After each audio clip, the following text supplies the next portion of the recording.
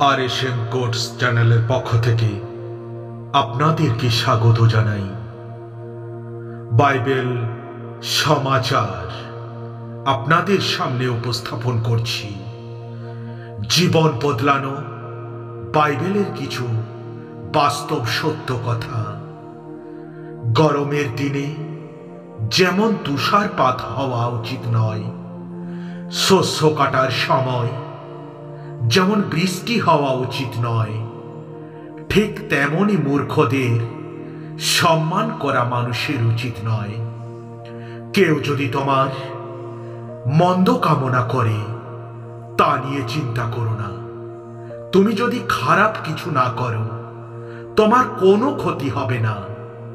সেই ব্যক্তির কথাগুলি হবে, উড়ে চলে যাওয়া পাখির মতো, যারা তোমার পাশে থাকবে না।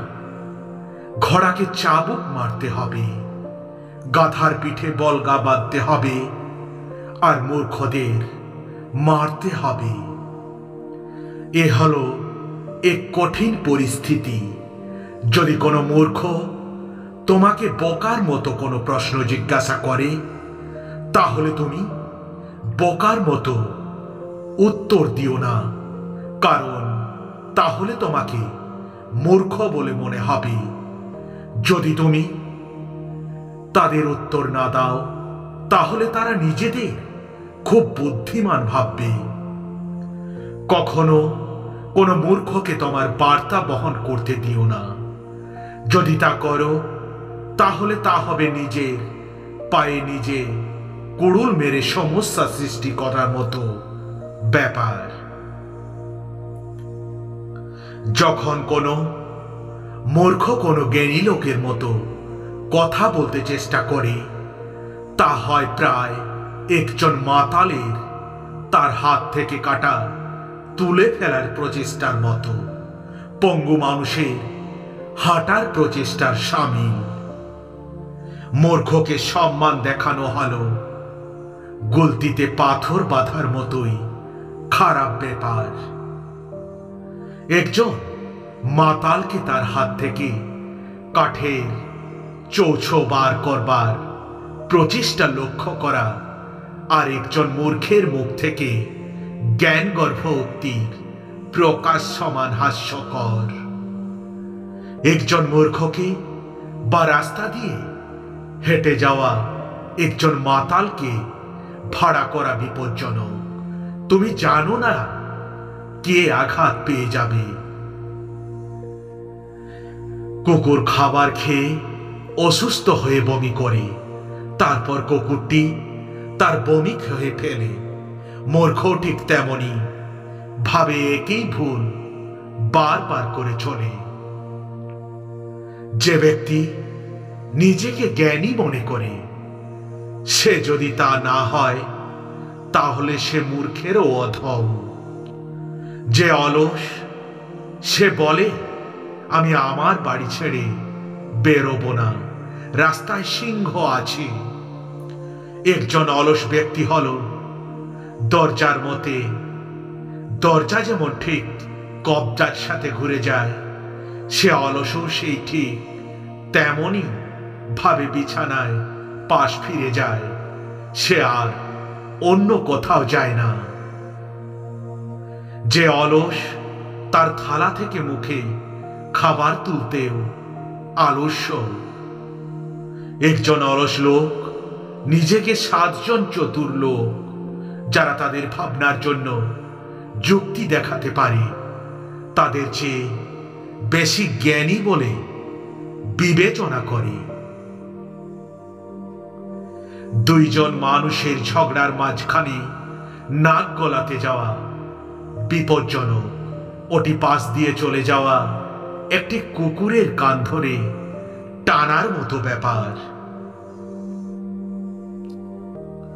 কেউ যদি একটি লোককে ঠকানোর পর বলে যে সে মজা করছিল, তা হবে একজন পাগলের উদ্দেশ্যহীনভাবে জ্বলন্ত তীর ছুড়ে দুর্ঘটনাবশত কাউকে মেরে ফেলার মতো ব্যাপার। জ্বালানি কাঠের অভাবে আগুন নিভে যায়। একই রকম ভাবে অপবাদ শূন্য তর্ক থেমে যায়। কাঠকয়লা যেমন কয়লাকে জ্বলতে সাহায্য করে, কাঠ যেমন আগুনকে জিয়ে রাখে, ঠিক তেমনই যারা সমস্যা সৃষ্টি করে, তারা তর্ককে বাঁচিয়ে রাখে। ভালো খাবার খেতে যেমন মানুষ ভালোবাসে, ঠিক তেমনই তারা গুজবও ভালোবাসে। যে সব বন্ধুত্বপূর্ণ কথাবার্তা একটি দুরভিসন্ধি ডেকে দেয়, তা হলো মাটির পাত্রের পর রূপালি রঙের মতো। যে মন্দ, সে ভালো কথা দিয়ে তার কুপরিকল্পনা ঢেকে রাখে। কিন্তু তার দুরভিসন্ধি থাকে, তার হৃদয় সে হয়তো তোমার সঙ্গে সদয় হয়ে কথা বলবে, কিন্তু তাকে বিশ্বাস করো না। তার মন দুর্বুদ্ধিতে ভরা।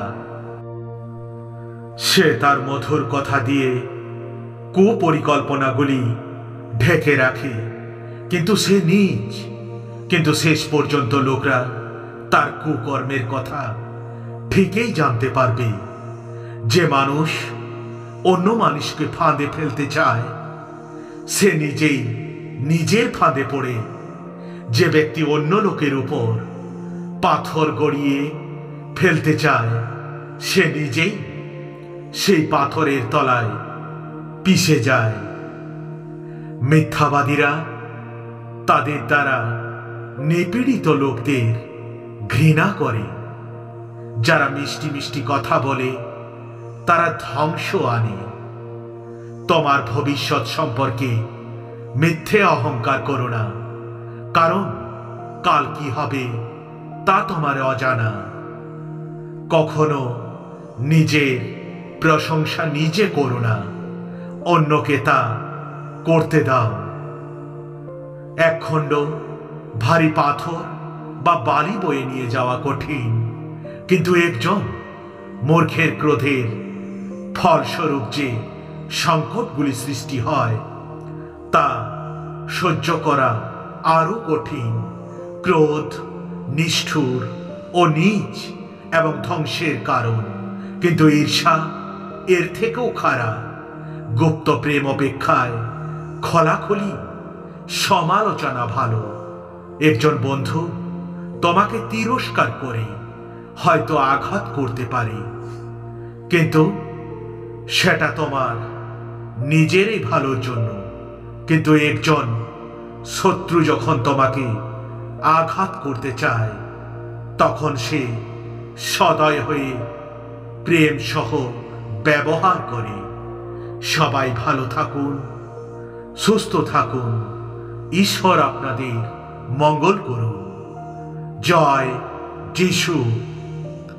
ধন্যবাদ।